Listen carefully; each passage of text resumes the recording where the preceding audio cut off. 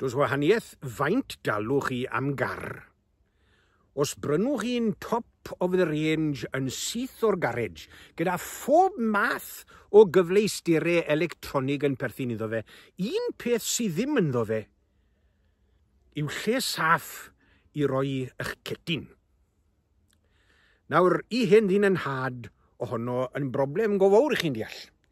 Dwn i'n sawl siwt oedd gan yn had a sawl cot fawr a rhyw dwll bach twt crwn uh, yn eu poced nhw. Poced y lapel weithiau, poced, poced y got wedyn. Lle roedd yn had wedi taro ei getyn yn ddifeddwl ar ganol rhyw... Gweld rhywun ar stryd, taro ei getyn i'w boced ac yn sydyn rhyw fwg hyfryd, yn codi o'r hen siwt um, oherwydd fod y siwt ar dan. Rhyw brofiadau fe, ond yn y car, Oedd hynny'n mynd yn ddau ddyblyg o berig.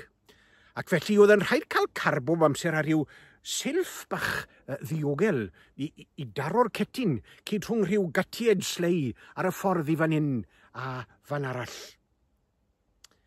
Ac un o'r pethau mwyaf gwerthfawr uh, sydd gen i gydre, byddech chi byth yn credu, tas erwn yn torri mewn i'r tŷ co, siawns y gwnaif, um, mae yna dau gwell ar gyfer yr orchwyl honno, siwr o fod, ond tas y trysor mwyaf sy'n gen i, chwel, yn dyfod, un ohonyn nhw, yw rhyw gwpan bach plastig o IKEA, yn dyfod, rhyw gwpan bach plastig o IKEA.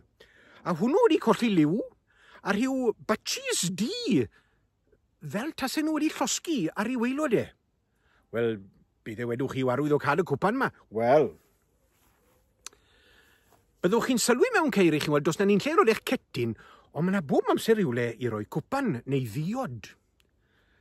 Ac oedd yn had erbyn y diwedd wedi sylweddoli ar hyn ac wedi cael rhyw gwpan arbennig oedd yn rhoi yn y cup holder.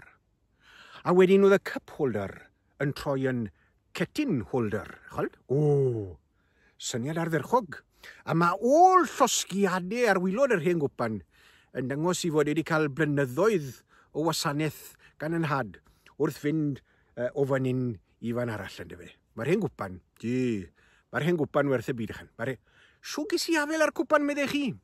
Wel, mae stori'r cwpan yn un rhyfedd iawn. Wi, chi'n gwybod yn iawn i'n fachan rhyfedd am drwsio ceir, byddai wrth y modd yn trwsio ceir. A fel oedd hi, um, llai felly rwan, ond fel oedd hi os gwrs, os oedd angen rhyw bartwel, meddwl yn gynta, oedd bosib i gael e o'r sgrapiard, chol, ne? Ca cael e'n ail law ailgylchu cyn yn amser gyfeillio'n hoff. E? Ac oedd na un sgrapiard, un iard sgrap nodedig iawn siawr exam Na, o'n i'n mynd i ddi'n gyson iawn. O'n i'n, o'n i'n, o'n i'n, friends and family. O'n i'n mynd â'n gyson yn edrych am ryw bart neu rhyw... Pob math o bethau hyfryd. Le braf i fod chi. Lle braf i drilio bore chol, Mewn sgrapiard yn edrych am bartiau uh, i gar. Hyfryd iawn. A wy'n cofio mynd na um, flynyddoedd yn ôl A peth cynta wylis i ar ôl mewn, mewn twriet lan, achos maen nhw'n stacor ceir lan a ben i gilydd, chol. A lan ar ben un peil, beth oedd yno? Ond car yn had. Oedd e wedi cael rhyw ddamwen, chol. Yn dy fe. Digon i'r stori honno. Ond oedd y car yn fanno? Oedd y... Bachgen, bachgen, mae fi yn sylwi ar y car.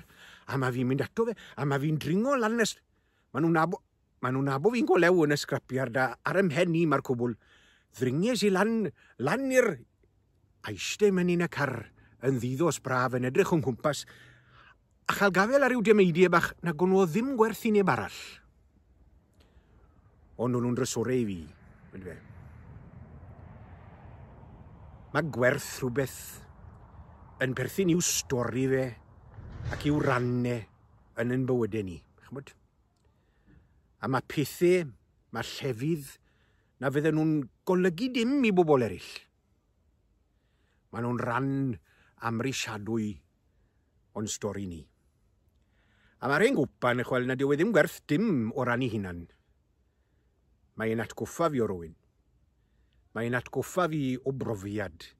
Mae'n atgoffa fi o amser. Ac o'r herwydd, fydd yr hen gwpan plastig gwae cu a lliw oren a marciau llosgyn i wylod e. Yn gwpan anrydeddus byth yn ein tŷ bach ni. Gyfeillion, cymwch ofal a daliwch afel yn y pethau sy'n cyfri. Ta-ra.